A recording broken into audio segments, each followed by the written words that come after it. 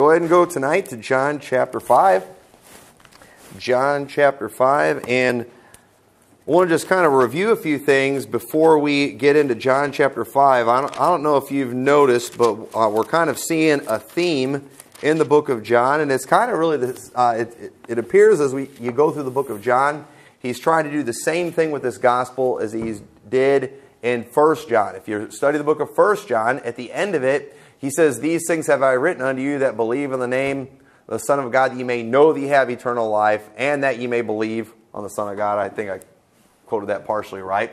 But he wrote it so people would believe. That was that was the key. That was the theme that you must believe God. And as we've been kind of going through these chapters, chapter by chapter, I've kind of been titling all of them, you know, uh, just things about Jesus and things that he is. And um, Last week we talked about Jesus Christ, the. Anybody remember? See if you're paying attention. What's that? No. I'm, I'm asking you this because I can't remember either.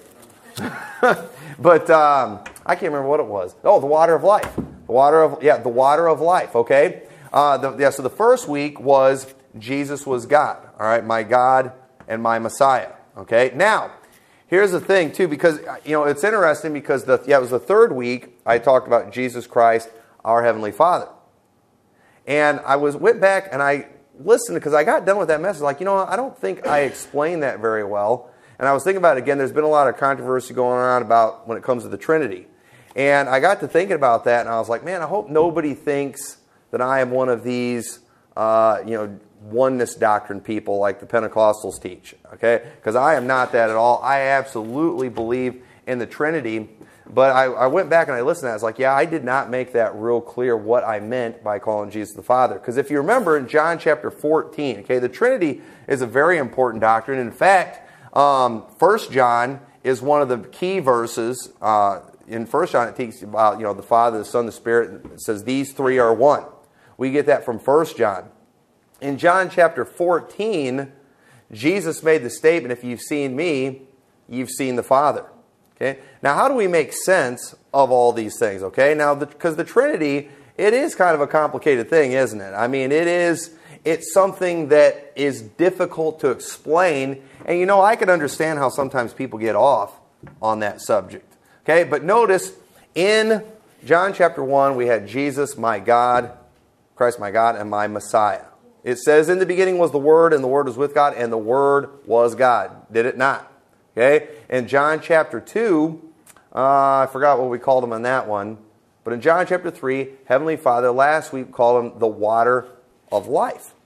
Okay? Now, all these things that we call Jesus, okay, and when it comes to him being God, why do we say this? Okay, how does this how does this make sense? Because we're going to call him something else in this passage too. And I think it's next week we're going to be calling him the bread of life. Okay? All these titles that he gives, these are things that we believe about Jesus by faith. Okay, there is no doubt that there are three different offices, you could say, of God. You got the Father, the Son, and the Holy Ghost. No doubt about it that those are three different things, but the Bible says these three are one too. So how do we make sense of all this? How do we, you know, how do we, how are we supposed to look at this? And I think the best way to explain it is, okay, last week we called Jesus the water of life, did we not? Now, is Jesus water? Okay, well, obviously not, but by faith, we take the water of life when we believe him, don't we? Okay? How, and when, when the Bible says, if you've seen me, you've seen the Father. Okay, Jesus said, I am the way, the truth, and the life. No man comes unto the Father but by me. How do we believe in God? Well, we have to believe on Him through Jesus Christ, don't we? You can't believe in God and not believe in Jesus. We can't get to God unless we go through Jesus Christ. Okay, when it comes to uh, yeah, you know, the bread of life, you know, Jesus said, unless you got to eat my body. Or are we supposed to eat his body? No, but what we're supposed to do is believe his words. When we believe Jesus, we're believing God. When Jesus said, Ye must be born again, did he mean we must physically be born again? Obviously not. How can we be reborn? Well, we have to have, you know, if, you know, it happens when we get saved. God obviously is the Heavenly Father, but at the same time, how do we get to the Heavenly Father? We go through Jesus Christ. By believing Him, that is how we get there. And so, you know, it is, it's kind of deep stuff, and we'll probably cover a little more of this as we go on here, but said I, I, I, I don't want anybody to think that I'm that way, because I'm not. And, but at the same time, I believe in the Heavenly Father. I, I have a Heavenly Father because of Jesus Christ, through Him. And Jesus said, If you've seen me, you've seen the Father. So what is that? But if, here's the thing: if you, when they were seeing Him, were they seeing God the Father? No, they were seeing God the Son in the flesh. But when you believe Him, okay, that's when that's when things happen. For example, when we got saved, okay, um, when we received eternal life, did were we handed anything? Did we see anything physically? No. But when we believed him, we got it, didn't we? And we believe that by faith. And we believe that Jesus is God by faith. We believe that he's all those things. We believe that he is the water of life by faith. I haven't seen the water of life that comes from the throne, have I? But you know what? I believe Jesus when he said he's the water of life. And therefore, I have taken of the water of life. I've never eaten the bread physical heavenly bread or whatever, like he was talking about. But I did by faith when I believed on him. And I believe in God and I have not seen the Father, but when I believed on Jesus Christ, I got the Father too. All of it goes through him, and it's all a faith thing, okay? It's all about faith. Everybody's looking for something physical, okay? And that's where the Pentecostals get it wrong too. You know, they're all about this Jesus only thing because it's, I think to them, it's a little easier to believe in Jesus, you know, and make it just about a physical being and not about a spiritual being that's in heaven too. Even when it comes to the Holy Spirit, when they talk about the Holy Spirit, it always has something to do with their works, them speaking in tongues, something that they have seen themselves do. They have no faith. And that's a problem. So uh, we might cover more of that as we go through here. But let's start reading in verse 1. There's a lot of stuff I want to cover tonight. But it says in uh, John chapter 5, verse 1 After this, there was a feast of the Jews, and Jesus went up to Jerusalem. Now there was at Jerusalem by the sheep market a pool, which is called in the Hebrew tongue Bethesda, having five porches. And these lay a great multitude of impotent folk, and of blind, halt, withered, waiting for the moving of the water. For an angel went down at a certain season into the pool and troubled the water. Whosoever then first, after the troubling of the water, stepped in was made whole of whatsoever disease he had. And a certain man was there which had an infirmity thirty and eight years. When Jesus saw him lie and knew that he had been now a long time in that case, he saith unto him, Wilt thou be made whole? The impotent man answered him, Sir, I have no man when the water is troubled to put me into the pool, but while I am coming, another steppeth down before me. Jesus saith unto him, Rise, take up thy bed, and walk. And immediately the man was made whole, and took up his bed, and walked. And on the same day was the Sabbath. Jesus' miracle that he did in the story, like many of his miracles, interestingly enough, it was done on the Sabbath day. And you all know what's going to happen here. You know, there's going to be some problems. But you know what? I believe Jesus did this miracle on the Sabbath day on purpose. Okay, remember, Jesus' miracles always had some kind of spiritual meaning to it. When Jesus would heal somebody, pretty much every example you can find, there's some kind of spiritual lesson he was trying to teach through that healing. What was he trying to teach us when he healed this man who had been who was, you know, crippled for 38 years? Okay, and he notice once again he did it on the Sabbath day a time when you're supposed to rest, he tells him to take up his bed and walk, okay? You know, that's work. We see the, fair we're going to see the Pharisees had a problem with that. But think about this. For years, this man had a physical burden. And the truth is, Jesus gave him rest from it on the Sabbath day, didn't he? Imagine what it would be like to not be able to walk for 38 years. That would make things hard, wouldn't it? That would be a difficult thing. Every day, everything would be a difficult task if you're not able to walk for 38 years. And so, Jesus healing him on the Sabbath day, I think was giving him rest, wasn't it? I mean, he just made his life a whole lot easier. This is going to be the easiest day this man has ever had. Uh, and so, yeah, he told him to take up his bed and walk. But you know, the purpose of this miracle, it was to show that Jesus could lift the burden of the law off of our lives. Our monthly memory verse, Matthew 11, 28 through 30. Come unto me, all ye that labor and are heavy laden, and I will give you rest. Take my yoke upon you and learn of me, for I am meek and lowly, and ye shall find rest unto your souls. For my yoke is easy and my burden is light. And I've said it before many times, people, they use that verse and it's like they think that's supposed to mean the Christian life is easy. That's not what that passage is saying. He was saying that uh, after, you know, there was all these Jews that are putting all these burdens on people, making salvation hard. And Jesus is saying, my yoke is easy. The way to salvation is easy. You know, the easy believism is under attack right now. And you know what? I'm sorry, salvation is easy. A lot of people want to work for it. A lot of want to, a lot of people want to do something to prove that they're worthy of it. But you know what? Salvation, it is only by faith in Jesus Christ. That's it. And I'm sorry, you can go ahead and try to do all the works you want, and you can prove to everybody that you're better than all of us, but you still won't go to heaven. You got to have faith in Jesus Christ. And Jesus was showing, when he did that miracle, how he healed this man on the Sabbath day. He gave this man the easiest day he's ever had in his life. And you know what? When we get saved, things have gotten so much easier for us because you know what? We're now no longer in condemnation. We're, we're on our way to heaven. We don't have to try keeping the law in order to be saved anymore. We weren't capable of that. We were in bondage to those things the Bible teaches, but Jesus Christ, He freed us from those things. And so, you know, Jesus did, He did a great thing here, and I think it was appropriate He did it on the Sabbath day. So look at verse 10. The Jews therefore said unto him that was cured, It is the Sabbath day. It is not lawful for thee to carry thy bed. He answered them, He that made me whole, the same said unto me, Take up thy bed and walk. Then asked they him, What man is that which said unto thee, Take up thy bed and walk? And he that was healed wist not who it was, for Jesus had conveyed himself away, a multitude being in that place. Afterward, Jesus findeth him in the temple and said unto him, Behold, thou art made whole. Sin no more, lest the worse thing come upon thee. The man departed and told the Jews that it was Jesus which had made him whole. And therefore did the Jews persecute Jesus and sought to slay him because he had done these things on the Sabbath day. The Jews in this story, they did what they what they always did and what people like them still do today. They attack the liberty that comes from Christ, didn't they?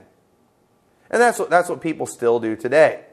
When you teach a salvation that's by faith, believe in the Lord Jesus Christ, that it's not of works, people will attack that liberty. Oh, you're saying that you know you can you know you can get saved and go do all these things, and they they do you know they attack our liberty that we have. They try to bind us to the things of the law, saying we have to do these things in order to be saved. Or you know the way a lot of Baptists do it, they're not going to go as far as doing that, but they will say you know if you're not doing these laws, then you're not really saved. And then people are always doubting their salvation and wondering if they're really saved because you know they've got all these people telling them they're not because they're not keeping the laws good enough. And this has been a problem since the time of Christ, and it will always be a problem. And those people, uh, you know, they're just they're going to have to just die and go to hell. I mean, that's what's going to happen to them unless they believe in the Lord Jesus Christ. But it's possible this man's problem was a result of a past sin. You know, notice what Jesus said to him because the man, he went into the temple and he said, You know, behold, thou art made whole, sin no more, lest a worse thing come upon thee. The Bible doesn't tell us what he did. You know, it maybe it was something that happened from the past that caused that to happen to him, but he tells him, you know, go and sin no more, lest a worse thing come upon thee. And you know, the the works-based salvation crowd, they will always do everything they can to stop people like us who teach that it's not of works, and live like it's not of works. Okay?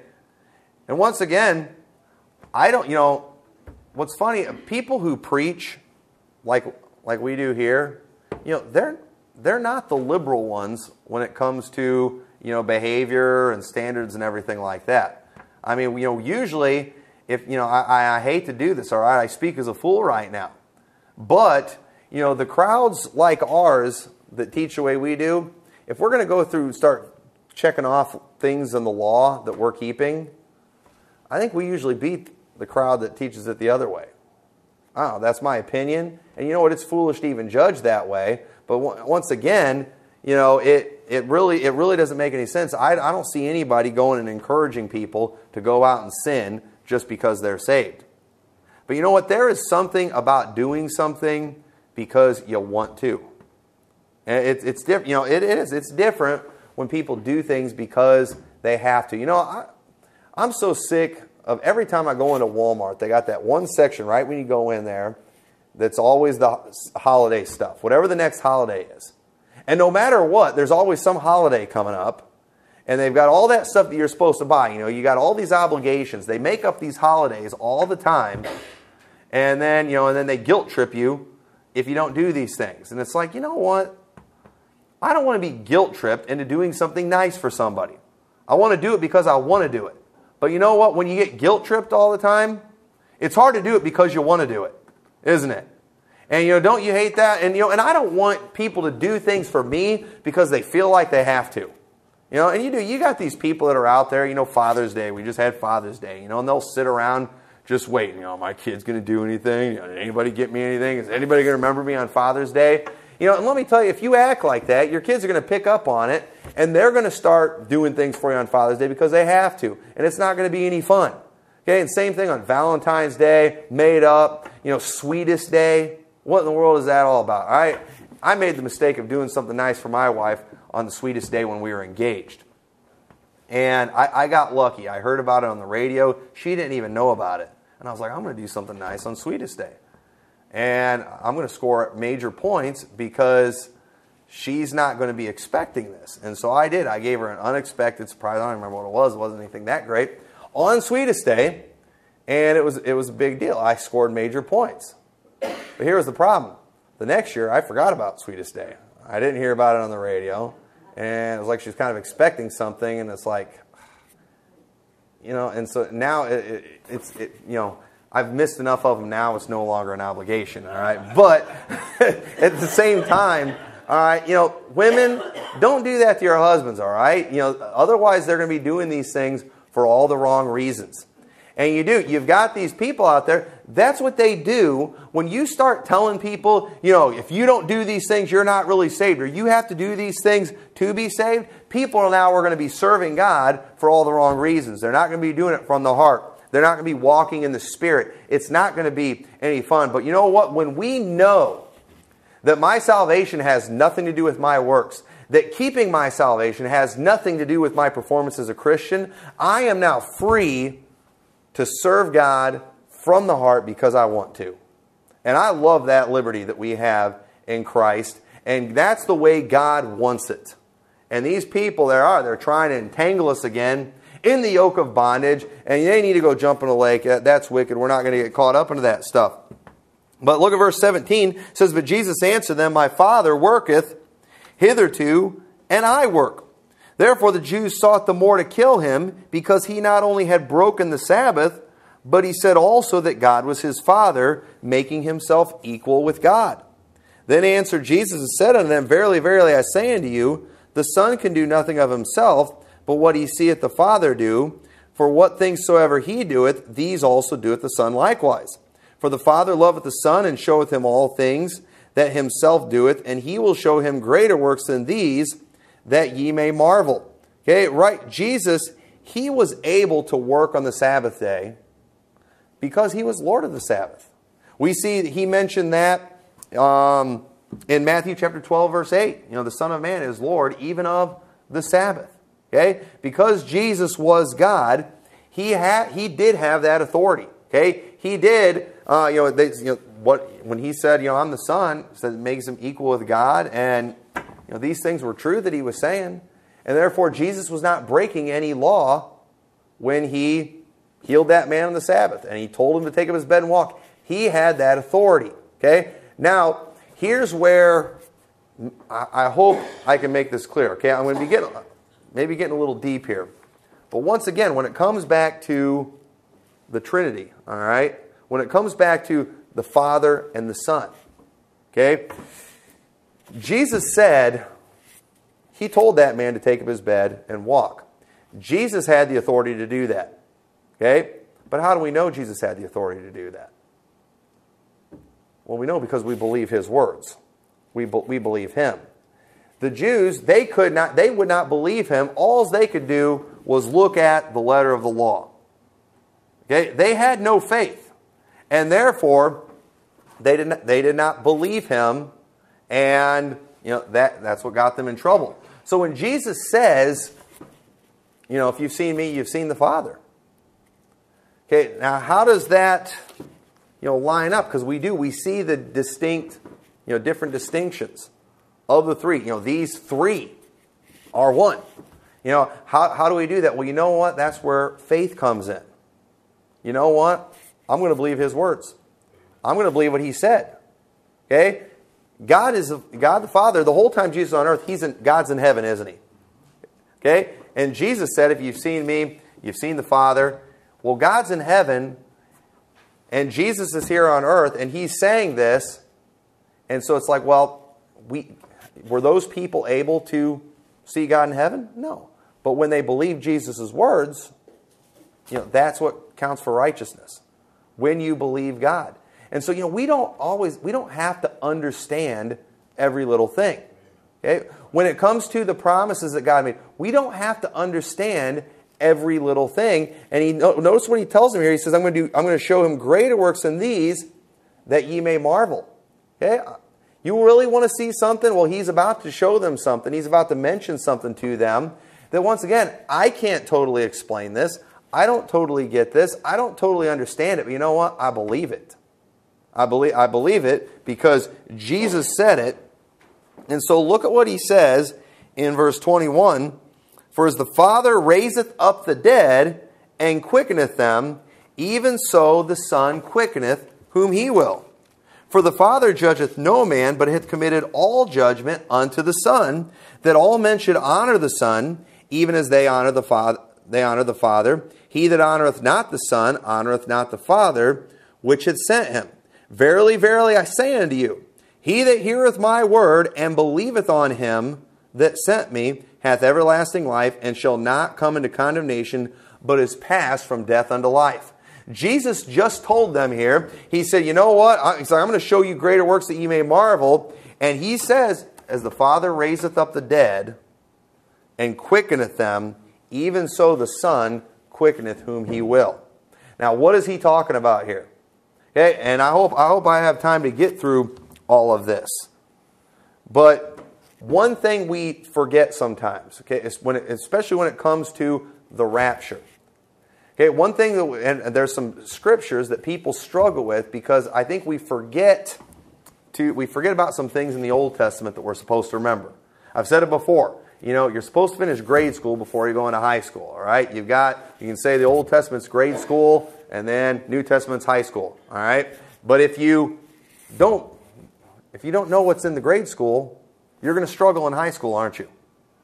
And there's a lot of things that people know about in the New Testament, especially concerning the rapture, but they're getting it wrong because they don't understand the Old Testament. And I'm going to, and one thing that is very clear in the Bible when first of all, the rapture, okay? We all know about what the rapture is. But it should not be called the rapture, okay? Not just because that's not a Bible word, but because we've called it the rapture, it's caused people to miss some things about that event that we call the rapture. And people ha uh, have not, there's verses in the Old Testament that are about that event, but people refuse to acknowledge it's about that event because it wasn't called that event in the Old Testament. It was called the resurrection. That's what it was called. And when Jesus said, As the Father raiseth up the dead, these people knew that a day was coming where God was going to raise the dead. They knew that day was coming. And Jesus is saying, just like the Father raises up the dead, the Son is going to quicken whom He will. Now, what does that mean? What's that talking about? When are we quickened? When we get saved, right? That's what in Ephesians 2. And you hath He quickened who are dead in trespasses and sins. That, that's, what, that's what the Bible teaches. When we got saved, we got spiritually raised from the dead. Now, how do we know that? Well, we know it by faith. Okay? We don't know it because we spoke in tongues and had some, you know, filling of the Holy Spirit like the Pentecostals teach. No, we know it by faith in the Word of God. We, we know that we have been resurrected. And Jesus said he's going to resurrect whom he will. Well, who, does he will will be resurrected? Those who believe. Okay, that's very clear all over the Bible. And we should not marvel at this because look at this. It says in um, 25, Verily, verily, I say unto you, the hour is coming, and now is, when the dead shall hear the voice of the Son of God, and they that hear shall live. Now, is that talking about the resurrection of the future, or is that talking about something else? I believe when he says that there, he's actually talking about in that present time, because he says the hour is coming, and now is, when the dead shall hear. Well, who are the dead? Those who are dead in their trespasses and sins. And when we hear God's words, we believe on him, we will live. For as the Father hath life in himself, so he hath given to the Son to have life in himself, and hath given him authority to execute judgment also, because he is the Son of Man. Marvel not at this, for the hour is coming in which all that are in the graves shall hear his voice. Now, is this a future event? This is a future event, that time when all who are in the graves will hear his voice. It says, uh, lost my spot. Where am I? Verse 20, oh, 9. And shall come forth they that have done good unto the resurrection of life, and they that have done evil unto the resurrection of damnation. So, right there, Jesus mentions the resurrection, and I believe he's talking about the rapture right there. Okay? Now, we're going to see though there those that one that one verse there that explains all of that as one event, they actually happen at two different times though. And I'll show you that real clear here in just a minute. But one thing, I'm kind of getting ahead of myself a little bit here, but one thing that we see back in these passages where it talks about Jesus raising those from the dead, he says he, he was going to raise whoever he will. He said, God, and note, he says, For the Father judgeth no man, in verse 22, but hath committed all judgment unto the Son. People talk about the difference. You know, I heard a guy tell me one time, the God of the Old Testament is not the same God that's in the New Testament. You know, God the Father was all, you know, all about, you know, killing everybody. You know, Jesus Christ was all about love. Why do we see the big difference? The guy said God's kind of schizophrenic, it looks like. You know, kind of blasphemous right there. But listen, there's a reason there is a big difference, okay? God is just. God is holy. God has to deal with sin. So why do we see such a big difference in the New Testament? Well, because God committed all judgment to the Son, and Jesus paid for all sins, didn't he? Therefore, he doesn't have to pour out his wrath on us all the time when we sin. God does not have to pour out his wrath on America right now even though we deserve it. Why? Because Jesus paid for all sins. But the time is coming after the resurrection, after the rapture, where all those who did not do what Christ willed, all those who did not believe, they will suffer the wrath of God. And all of a sudden, we are going to see Jesus Christ looking a lot like he did in the Old Testament, aren't we? In fact, you could say it's going to be a whole lot worse than it was. I don't know what these, you know, smiley Joel Osteen, you know, all God is love preachers are going to say during that time. Because it's, it's going to get really ugly during that time. But God feels the same way about sin today that he did in the Old Testament. But he is able to be forgiving and merciful because he paid for our sins. But those who reject him, their time is coming. And Jesus, so he has, he has the ability to forgive because he paid for our sins, and Jesus will only forgive those who believe and there is a limited window of opportunity for men to do that. After this event, the rapture, time's up. You know, it, it's, it's over. After that window is closed, we will see Jesus Christ showing himself as the God of the Old Testament. And it's going to be worse than ever.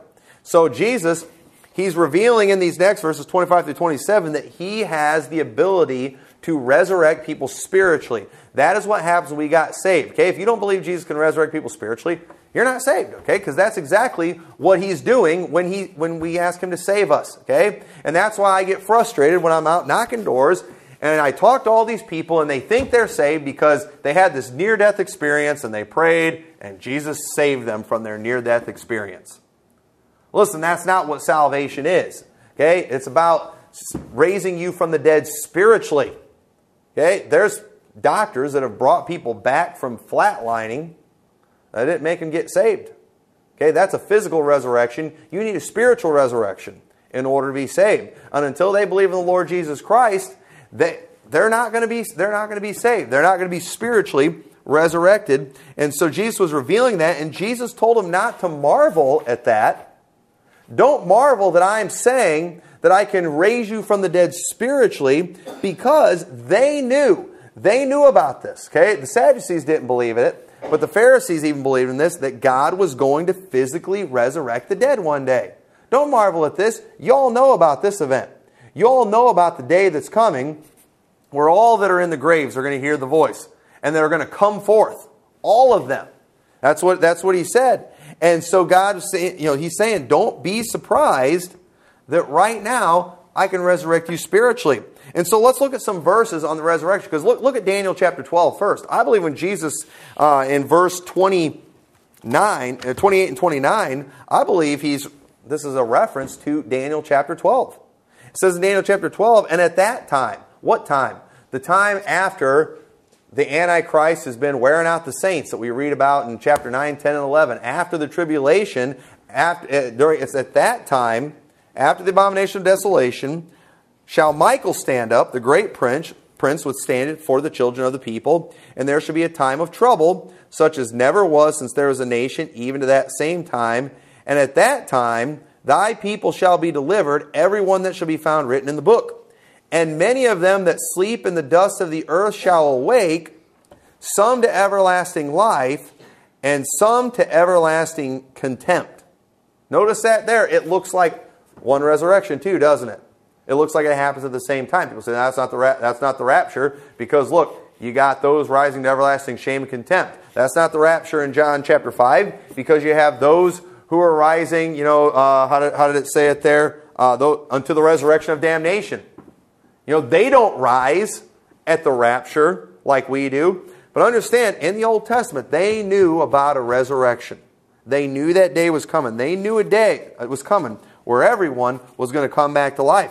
Acts 23, verse 6. But when the, uh, Paul perceived that one part were Sadducees and the other Pharisees, he cried in the council, Men and brethren, I am a Pharisee, the son of a Pharisee, of the hope of the, and resurrection of the dead I am called in question. What was he talking about? That, that event that they knew about. The Sadducees didn't believe in it. And when Paul said that, the Pharisees and Sadducees all started arguing. But they did. They knew about that event, the resurrection of the dead. And uh, in verse 20, or John, uh, Job 19, 25, for I know that my Redeemer liveth, and he shall stand at the latter day upon the earth. And though after my skin worms destroy this body, yet in my flesh I shall see God. He knew he was going to resurrect one day. He knew that day was coming. Way back in Job, Job, they believe, was around the time of Abraham. They knew about a resurrection. Isaiah 26, 19, Thy dead men shall live together, with my dead body shall they arise. Awake and sing, ye that dwell in the dust. For thy dew is as the dew of herbs, and the earth shall cast out the dead. Come, my people, enter into thy chambers, and shut thy doors about thee. Hide thyself, as it were, for a little moment, until the indignation be overpassed. For behold, the Lord cometh out of his place to punish the inhabitants of the earth for their iniquity. The earth also shall disclose her blood and shall no more cover her slain. Uh, right there, another example. Rapture or the resurrection, and then God pours his wrath out. Hey, just like we teach.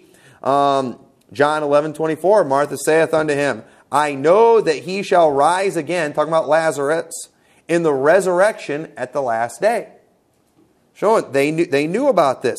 2 Timothy 2.16, But shun profane and vain babblings, for they will increase unto more ungodliness. And their words will eat as doth the canker, of whom is Hymenaeus and Philetus, who concerning the truth have erred, saying, The resurrection is past already, and overthrow the faith of some. These guys were saying, hey, this already happened. These were the preterists. They were even around back in that day, saying, oh, no, rapture already happened. Hebrews 6 2, of the doctrine of baptism and laying on of hands, and of the resurrection of the dead, and of eternal judgment. Luke 20, 27. Then came certain of the Sadducees which deny there is any resurrection. And then they asked him that question about the woman who has married all the different men, whose wife was she going to be? In verse 33, Jesus said, Therefore, in the resurrection, Whose wife of them is she? For seven had her to wife. And Jesus answered, unto them, The children of this world marry and are given in marriage, but they that should be accounted worthy to obtain that world and the resurrection from the dead, neither marry nor are given in marriage. So, and uh, neither can they die anymore, for they are equal unto the angels and are the children of God, being the children of the resurrection. So, right there, we see all those verses about the resurrection of the dead. And the pre-tribbers, they're going to tell you, they're, they're going to have to say, if you start showing them all those verses, that that's not talking about the rapture. Because, you know, in some of those passages, notice it mentions the lost in there too. They don't rise when we do. No, you're right. They don't rise when we do. And that's why it says in 1 Thessalonians chapter 4, the dead in Christ shall rise first. A lot of people think, and, and you know, I, you know, it's, I guess I could say that's my opinion. A lot of people think when it says the dead in Christ will rise first, meaning, you know, they're going to rise and then we will be caught up together with them in the clouds. But I think he mentions the dead in Christ rising first because they rise before the rest of the dead. that's not clear enough? Well, let's go to Revelation chapter 20 and verse 4. Revelation chapter 20 and verse 4. It says, And I saw thrones, and they that sat upon them, and judgment was given unto them. And I saw the souls of them that were beheaded for the witness of Jesus and for the word of God, which had not worshipped the beast, neither his image, neither had received his mark upon their foreheads or in their hands. And they lived and reigned with Christ a thousand years. But the rest of the dead live not again until the thousand years were finished. This is the first resurrection. Y'all see that? The rest of it, they don't live until the thousand years are finished. Verse 6 Blessed and holy is he that hath part in the first resurrection. On such the second death hath no power, but they shall be priests of God and of Christ, and shall reign with him a thousand years. And notice too who these people are. They're the ones who were beheaded because they wouldn't take the mark. So that was during the tribulation, and they resurrected at the rapture. That happens, after, that happens right after the tribulation. And but the rest of the dead, they don't live until the thousand years are over. Verse 7 When the thousand years are expired, Satan shall be loosed out of his prison and shall go out to deceive the nations which are in the four quarters of the earth, Gog and Magog, to gather them to battle, number of whom is as the sand of the sea. And they went upon the breadth of the earth and compassed the camp of the saints about and the beloved city, and fire came down from God out of heaven and devoured them. And the devil dece- that deceived them was cast in the lake of fire and brimstone, where the beast and the false prophet are, and they shall be tormented day and night forever and ever. And I saw a great white throne, and him that sat on it, from whose face the earth and heaven fled away, and there was found no place for them. And I saw the dead. Y'all see that? Small and great stand before God, and the books were open, and another book was open, which is the book of life, and the dead were judged out of those things which were written in the books according to their works, and the sea gave up the dead which were in it. And death and hell were delivered up, delivered up the dead which were in them, and they were judged, every man according to their works, and death and hell were cast in the lake of fire. This is the second death, and whosoever was not found written in the book of life was cast in the lake of fire. Y'all see that? It's very clear that the resurrection of the rest of the dead happens after the millennium. And so I personally believe the dead in Christ rising first is a reference to the saved, they rise before the lost. Because all the Old Testament saints, they knew about the resurrection of the dead, and it kind of looked like it was at the same time. But we learn in the New Testament that the dead in Christ rise first, and the rest of the dead, they don't live again until the thousand years are finished. And so that, uh, that, that's what I believe about that. But Jesus, and so Jesus was saying, you know, that day was coming, and I do believe what he mentioned there in uh, John chapter five, that resurrection. I believe that is the event that people call the rapture. That that we probably should have stuck with the resurrection. That would that would have been better. Because think about most believers, the vast majority of the believers that have ever been, they're going to resurrect, aren't they? Now, we which are alive and remain, We'll be caught up together with them. We're going to get to go up too. But at the same time, for the vast majority of the saved, it will be a physical resurrection, won't it? And there will be some of us who will not see death, and I hope I'm one of those people. But so um, Jesus told them, though, you know, not to marvel because they knew God was going to physically resurrect the dead. And so they shouldn't have been shocked since they knew God had the ability to do that. They should have believed that Jesus had the ability to save their souls and to resurrect them spiritually. And so, uh, in the rest of the, go ahead, uh, verse 30, we're going to read the rest of this passage. It says, I can of my own self do nothing. As I hear, I judge, and my judgment is just. Because I seek not mine own will, but the will of the Father which hath sent me. If I bear witness of myself, my witness is not true. There is another that beareth witness of me, and I know that the witness which he witnesseth of me is true. Ye sent unto John, and he bare witness unto the truth. But I receive not testimony from man, but these things I say that ye might be saved.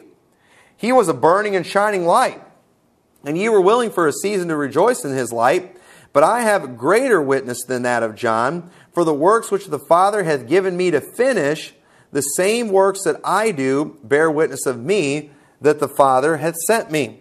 And the Father himself, which hath sent me, hath borne witness of me. Ye have neither heard his voice at any time, nor seen his shape.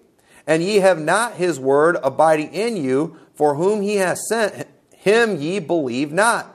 Search the scriptures, for in them ye think ye have eternal life, and they are they which testify of me. The scriptures are what testify of Jesus Christ. They should have known that they should believe Jesus because of what the scriptures said. Everything Jesus did and said lined up with the scriptures. Every, everything. Verse 40 And ye will not come to me that ye might have life. I receive not honor from men, but I know you that ye have not the love of God in you. I am come in my Father's name, and ye receive me not. If another shall come in his own name, him ye will receive. I believe that's a reference to them accepting the Antichrist. And they will do that. How can ye believe which receive honor one of another, and seek not the honor that cometh from God only. Do not think that I will accuse you to the Father. There is one that accuseth you, even Moses, in whom ye trust. For had ye believed Moses, ye would have believed me, for he wrote of me. But if ye believe not his writings, how shall ye believe my words? Right, let me you, don't ever let anybody get away with telling you that the Jews believe the Old Testament, just not the New Testament.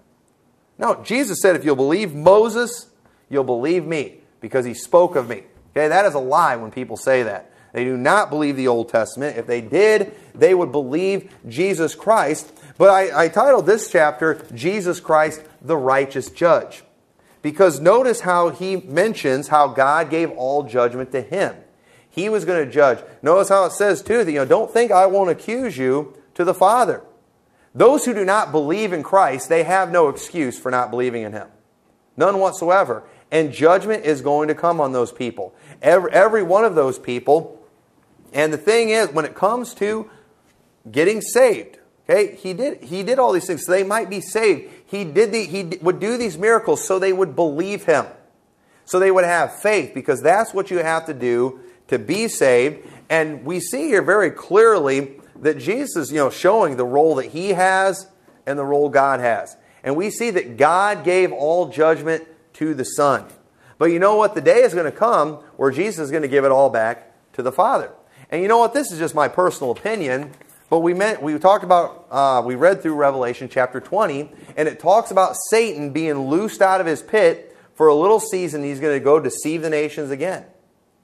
And you know what I think? This is my opinion. This is what I this is how I think the devil is going to deceive the nations. This is what I think the devil's going to use. This is my own personal opinion. But one, in order to be saved, you have to have faith, don't you? You have to believe on the Lord Jesus Christ. Well, if Jesus is on earth ruling and reigning, then where's the faith? Okay? Now, the dispensationals will tell you it's because you're going to get saved different in the millennium. No, it, it, we've never been saved any way other than by grace through faith. And it will be the same thing during the millennium. But you know what I personally believe? I believe that one of the things that Satan's going to do, the way he's going to deceive, is he's going to tell people Jesus isn't really the Father, or Jesus isn't really God. Because at this point, no one has seen God yet. We've seen Jesus, but we've not seen God. And after the millennium, Jesus is going to deliver the kingdom up to God. And it says there at the end of Revelations that we will see his face. But that's not till after the millennium. We will not see God, the Father, until the millennium. So what does that mean? Well, I personally, I personally believe, you know, the devil's probably going to try to spin a lie that Jesus isn't really God. You know, where's the proof? Have, have you seen God yet? You know, they will have seen Jesus Christ. And you and I know if you've seen him, you've seen the Father. If you believe on him, you believe in the Father. But you know what? I think Satan, he'll probably fool everybody and tell them that's not really God there. You know, that's not, real, that's not really who he is, and they're going to want to see God. No, we want to see God. And that's how a lot of people are today. No, I want the proof. Sorry, you got to have faith. And these people, no, we want to see God the Father. And Jesus is like, no, you believe me. You follow, you follow me. You're not going to get to the Father except through me. And once again, people will be deceived, and those people are going to end up being cast in the lake of fire. And then after that, Jesus Christ, He's going to deliver the kingdom up to the Father, and we're going to get to see His face. And, you know, so some of this stuff it is. It's kind of, it is, it's pretty deep. It's something to ponder. But here's the thing if we could fully understand God, would that be much of a God? You know, I forgot where that verse is that said, you know, there's that day coming where we will know him as we are known of him. You know, there, there is a lot more to be revealed about God than what we, just what we know. A lot more to come. Well, how are we going to get that? I want that information. I want that information right now. I want to see God now. I want to know God now. Well, if you want to know God, if you ever want to see God, you're going to have to go through Jesus Christ. You got to believe Him right now. You got to have faith right now. If you want the Father, you don't get the Father unless you go through Jesus Christ. We pray to God in Jesus' name. And so, you know, the world today, you know, it's, it's all about finding unity but they refuse to unite with God's Word. And it's because they can't, because they are not of God. As believers, we need to make sure we don't ever get caught up in this ecumenicalism and uniting with evil. Our main responsibi- responsibility is to fear God and keep His commandments. That's what, that's what God wants us to do. That's what God wants us to do. That is what is expected of us. We just need to fear God keep his commandments. You know, we, like Paul, our goal ought to be able to say, you know, I fought a good fight, I finished my course, I've kept the faith. Henceforth there is laid up for me a crown of righteousness, which the Lord, the righteous judge, shall give me at that day, and not to me only, but unto all them that love is appearing. Just sit down and think some time about how many things that we claim as fact, but we have not seen anything physically. But we believe these things by faith. We've not seen the Father. Well, we can have the Father through Jesus Christ. We've not drank any water, you know, that gives eternal life, physically speaking, but we have by faith when we believe in the Lord Jesus Christ. We've not eaten any physical bread that gives eternal life, but we did spiritually when we had faith in Jesus Christ. Be- those who have had faith, according to God, have done all those things. Well, where's the proof? I can't see anything. Well, you don't get to see. You're just going to have to believe. How can God and Jesus be one? Uh, you don't get to see that. You're just supposed to believe that. And the day will come where you'll, you'll see how it all works. And you'll understand all that. But you, you just got to believe. You believe God and Jesus and the Holy Spirit are all separate? Yes. Why? Bible says, you know, they are. Do you believe they're all one too? Yep. The Bible says they're one. You know, do I, do I understand everything about it? No, but I believe it. Just like I believe I'm saved. I got nothing physical I can show you. I've only got, hey, this is what the Bible says. And by faith, I believe I'm saved. I believe I'm on my way to heaven. I believe there's a heaven. I believe there's a hell. I believe all those things by faith.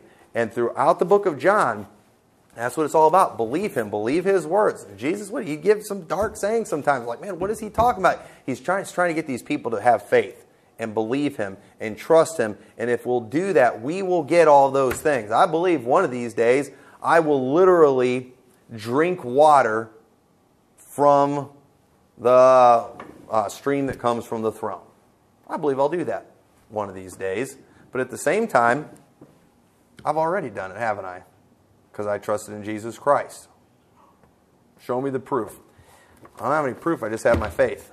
And that's, that's what Paul, I determined not to know anything among you save Jesus Christ and Him crucified. You know, you confess Christ, that's the important thing. And we do, you know, a lot of people too, you know, a lot of religions, they claim God, but they don't want to claim Jesus Christ. Well, if you don't, you don't get, you don't get the Father unless you go through Jesus Christ. He is the only way. We have to believe Him. He gave everything, all judgment to the Son, and it Jesus, it was His will that we would believe. And so, deep stuff, but I hope that was clear. Uh, I, I hope that was helpful. And so, with that, let's all stand together.